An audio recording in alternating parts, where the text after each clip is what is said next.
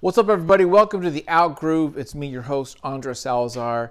Today, we're going to talk about Logic's new album called Vinyl Days. This is a channel where we talk about audio equipment, music, a lot of hip hop, because that's what I'm into.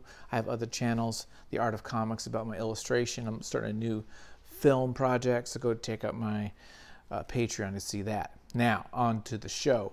This is a breath of fresh air. After listening to that new Drake album, never mind, okay, honestly, never mind, okay. After listening to that for days, I am so glad to listen to Logic's new album. Uh, Logic, last album with Def Jam, and um, this is what I like. This is boom bap rap on vinyl scratching, sampling, old school Beastie Boys. I mean, this is like it's good. I like it. This is this is actually kind of my jam. This is what I really like. This is the kind of stuff that I kind of hoped that Drake would have done. Clearly, that's not his style. Clearly, it's not what he wants to do. Fine, I respect that. But um, this is one of my favorites of Logic. Uh, Robert's been doing a lot of these, like Bobby Tarantino, one, two, three. He supposedly, um, you know, retired. He had this interview with actually Anthony Fantano, the Needle Drop channel here on YouTube, and uh, that was enlightening. Just his talking to Anthony about like his process and where he's at emotionally and mentally and what he's focused on, you know. And this just has a lot of great classic beats. I love the beats. I love the music heavily produced by him and also partner 6ix. Uh, there's some great features with Action Bronson, another member of that album, Cocodrillo. He just came out with that a little while ago. Really like that. 30 tracks, 111 minutes. I mean, this is great. This is like beefy, a lot of content. There's a lot of skits. Still curious about the history of skits. I still say it goes to vaudeville or you know, that kind of era. I don't know, but there's no skits in like country music or rock and roll, just in rap. I always found that fascinating. Let me know in the comments the history. Where did these skits come from? Did like Melle Mel do skits? Like I'm trying to think of those old Afrika Bambaataa do skits. I don't think they did. Who? What? What was the first rap album?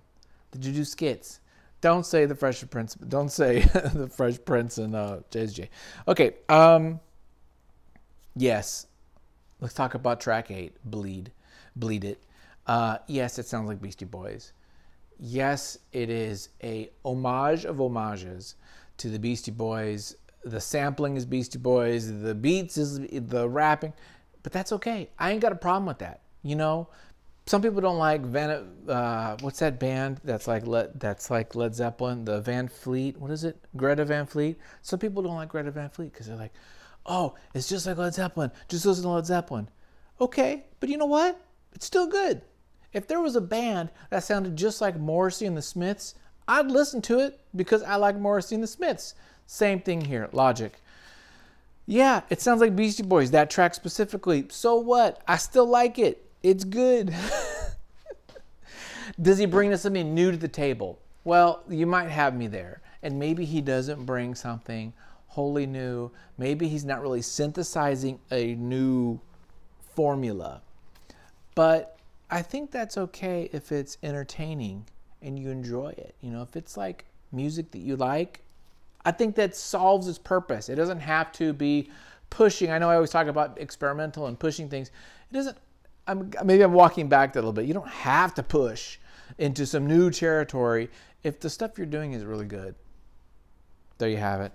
Uh, LaDonda's another track, track nine, mentioning a little bit of the needle drop. And then, of course, on track 23, it's the needle drop and it's actually sampling Anthony Fantano's like text, not text message, but like voicemail conversation with Logic, which is fascinating and kind of meta, you know, and, and opening the the fourth wall on some of that stuff. There's Michael Rapaport does a, that was like pretty fun. Uh, freaking um, uh, Morgan Freeman opens this thing up. Nardwuar, I love Nardwuar, dude. They got Nardwuar up in this. I loved it. I thought it was super fun. Um, yeah, this is so much better than than Drake, his latest two albums. It's better than Certified Baby Lover, whatever the hell that's called. It's better than this. Honestly, never mind.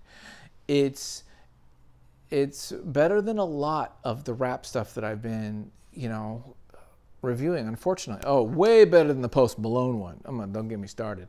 So, um, did I like it? Yes.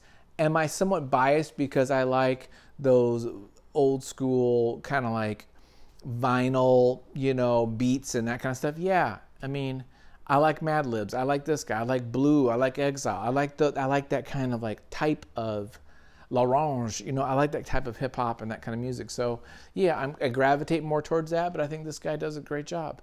There you go. I ain't got much more to say to that. I'm gonna give it. I'm gonna give it four biscuits. Boom, boom, boom. Don't do those very often. But yeah, I thought it that good. Uh, thanks for watching. Let me know what you think. What's am I right or am I wrong? Let me know in the comments below.